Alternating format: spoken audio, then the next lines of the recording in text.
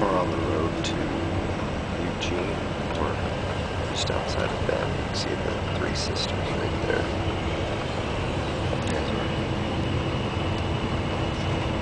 heading on down the highway.